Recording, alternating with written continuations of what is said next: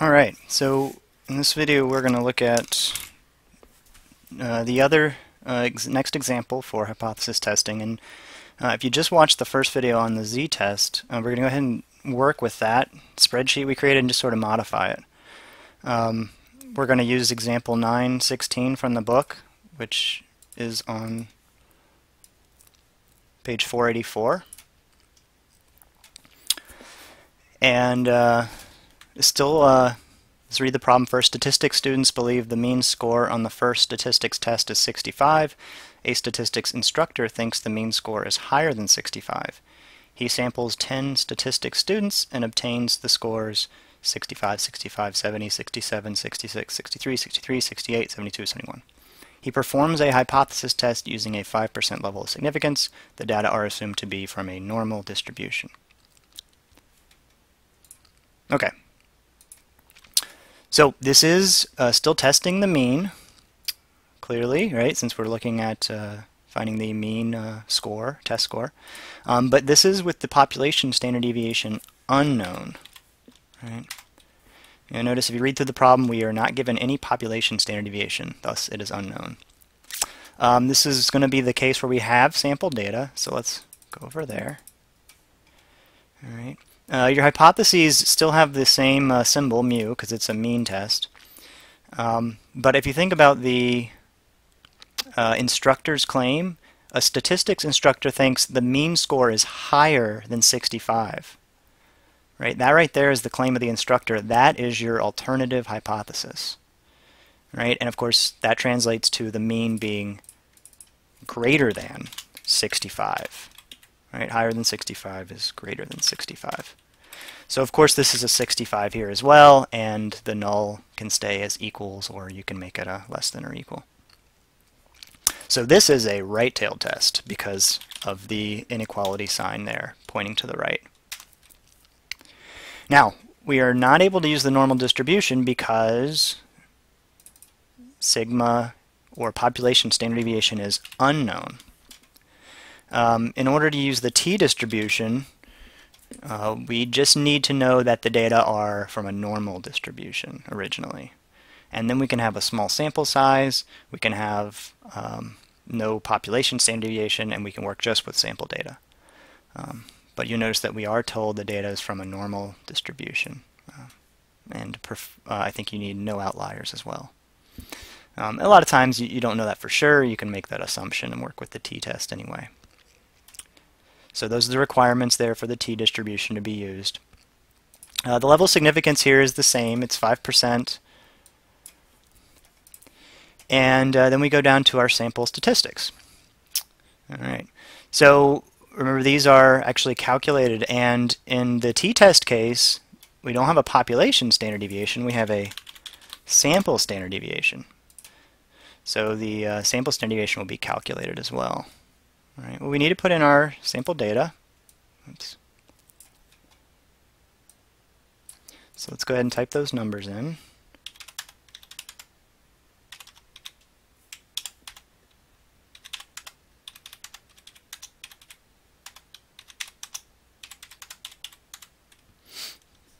And just delete the empty, or the numbers we didn't use.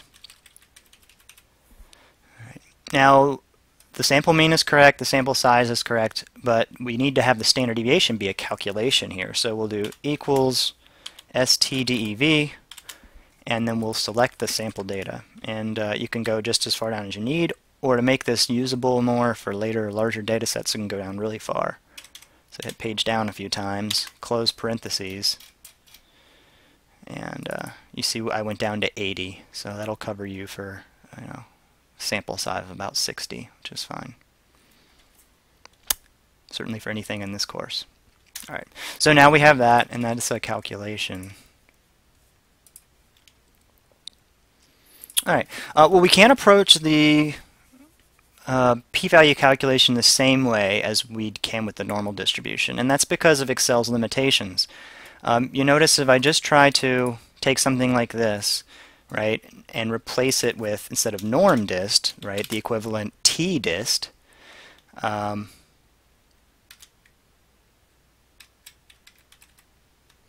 yeah, t dist, you'll notice that it wants to know where to uh, draw the line on the distribution, and it wants the degrees of freedom and the number of tails. And it does not allow you to specify the standard deviation. So what they've done here is they've only given you the standardized t-distribution. Remember for the normal distribution when that was first brought up, there was the standard normal distribution and it had the mean of 0 and the standard deviation of 1? Well, that's what they're giving us here for the t-distribution. So they're only giving us the standard one, and that means that we have to standardize our uh, our test, our sorry, our um, our sample statistics. We have to standardize them in order to find this. Um, a picture so it's not going to like what I have there. Okay, so the picture we're looking at here is still going to hold, um, but we can't actually use that distribution directly. All right, so there's a little shortcut in between, uh, sort of a middle step, and it's called the test statistic, and that's what we're going to have here. It's our test statistic. Actually, we don't want it there. We still want the standard deviation of the sampling distribution, I guess. No, we don't. Let's do that. So test statistic. All right. So the test statistic is basically like a z-score, if you remember that calculation. And uh, uh, remember the z-score, you take the individual, and the individual here is going to be the sample mean, and then you subtract the population mean, and that's going to be the um, this number here, right? And then you divide by the standard deviation. And so we would use the sample standard deviation divided by the square root of the sample size, right? That's the normal uh, standardized error. Uh, take the standard deviation and divide by the square root of the sample size. That's because of the central limit theorem.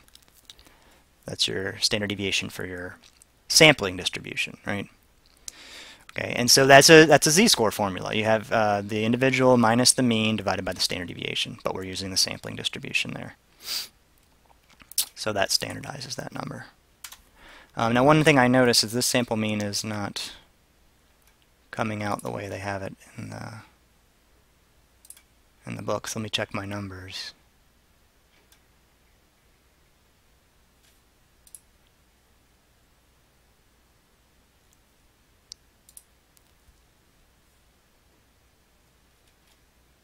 Oh, there's a 16 down here that I didn't get rid of. So you got to be real careful with uh, this technique here. All right, so it should be 67. Uh, you want you want all these things to be cleared out after the data set. Okay. Um, and then it's 10, 10 scores here. Okay, so 67, uh, sample size 10. There's our standard deviation. There's the test statistic. And we're now ready to calculate a p-value. So uh, I think that the right-tailed test is actually the first one to tackle because when you use this tdist command, uh, of course you use the test statistic, and degrees of freedom is the sample size minus 1. And if you're doing a left-tailed or right-tailed case, then tails is 1. Right, that's the one-tailed version. TDIST is actually set up for doing right-tailed tests, I believe. So I think we do this, right? We've told it that's where you draw the line, and there's your degrees of freedom. There's 1 minus that. And we're doing a right-tailed test. And you can see that this does match up with the p-value here. We're going to go ahead and go ahead and snip that out.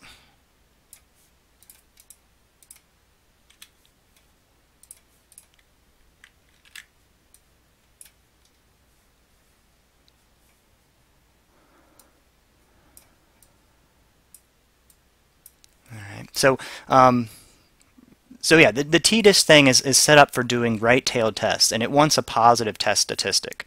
So in the right-tailed case, everything's going to work out fine.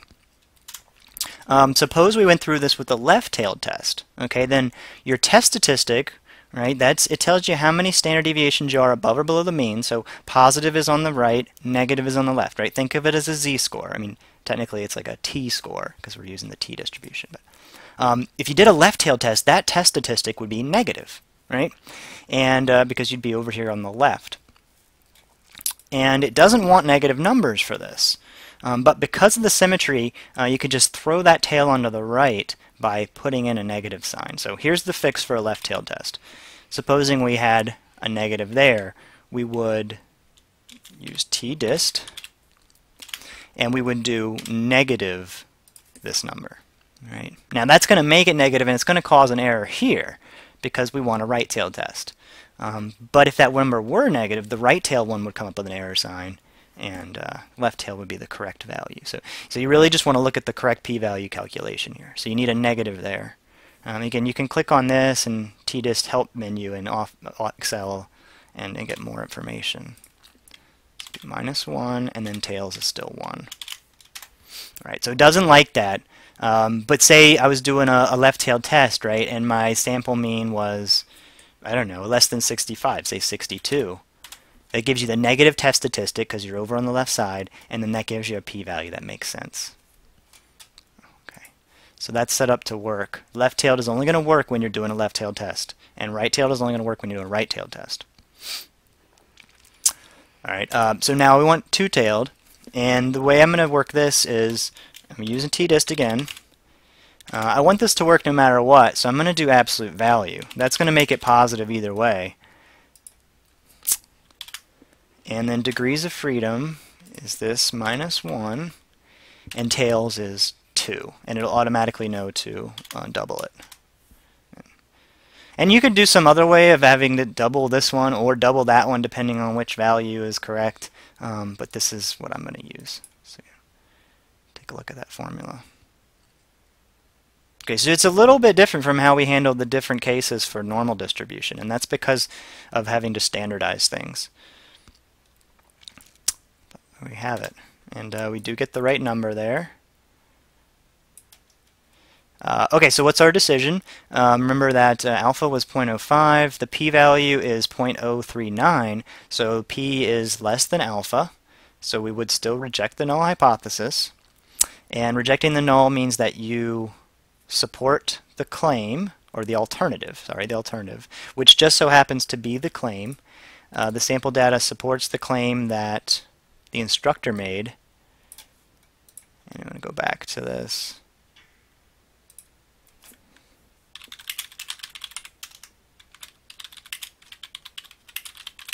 That the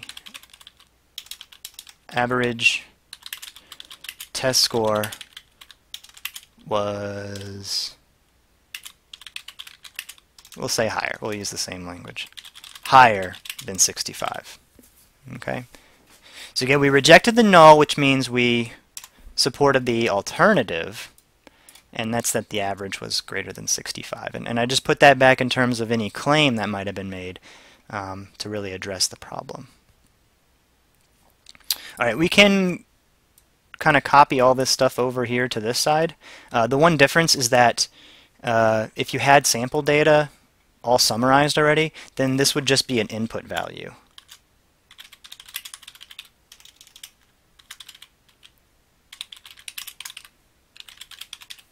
So you would just have to type these numbers in. So let's, I mean, we can make it match up here.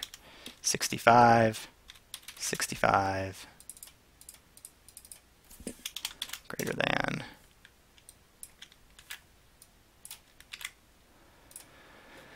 And then here we just, they would tell us the sample mean, they already have it averaged up, and they would tell us standard deviation. Sometimes they do this just to save time because they know you know how to calculate the mean and standard deviation at this point. Alright, I'm going to go ahead and just copy these over because these are the same. And uh, copy that. and copy that. All right. So this shows you how to do some uh, t-test stuff. You can now reuse your spreadsheet. Um, let's just rename it t-test, and uh, you're good to go.